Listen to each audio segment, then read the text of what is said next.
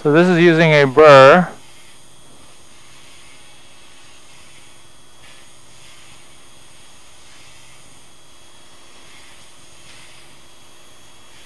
Cutting out this excess bone. Looks good there. And come down here, we want to make sure that we can get rid of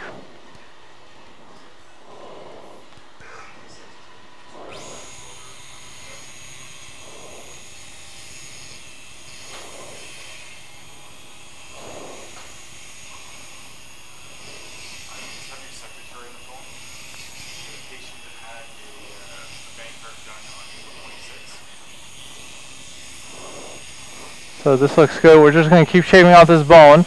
I'll show you what this looks like in a second.